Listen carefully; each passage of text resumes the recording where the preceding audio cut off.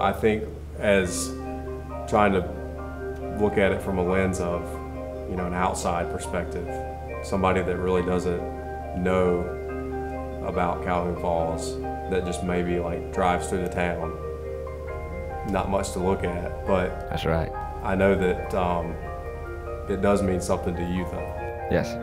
Um, it's where I've always grown up. Um, like you said, there's nothing here. You have to travel to do whatever you want to do, um, but you can always call it home. This is this is home. This is home. The school's just always meant a lot to me personally because it, it meant a lot to me as a student.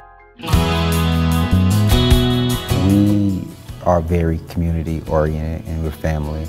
Um, I really don't like to say, you know, staff when I when I talk about, you know, the, the, teachers we have here. I say, you know, welcome to the family, or I'm glad to have you at Calhoun Falls Charter School family because that's one thing, you know, here we're a family in the community. We're a family. Everyone knows everyone, so it's just, you know, it's to continue to leave these strong living legacies for the students and family here at Calhoun Falls. Before a year and a half ago, it didn't mean a thing to me. I didn't even know how to get here.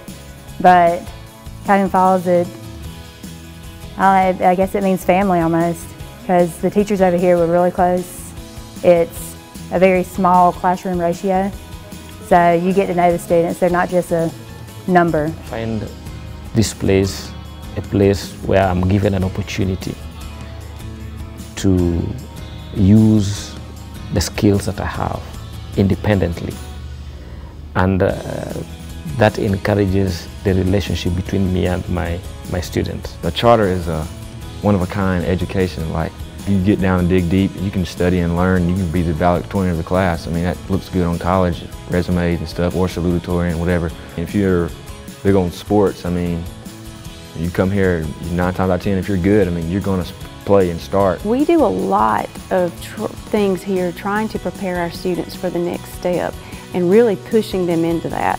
I think in some areas, you know, it's like, here it is. If you want it, so be it. If you don't, okay. But I think we're small enough that we're, we're going, hey, you, you'll be good at this. You can do this. And I'm going to push you to do this. And I know that you want to pursue a career as a nurse. So I'm going to push you into taking that anatomy and physiology class, even though you really don't want to, even though you've got all three science credits and you don't have to have it. But I know what you want to be when you grow up. And I know that this is going to benefit you in the long run. Continue to put one foot in front of the other.